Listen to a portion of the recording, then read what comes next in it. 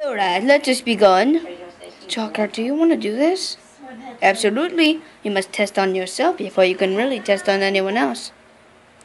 Okay, activating code, checking critical, and uh, oh my, ah! oh yeah!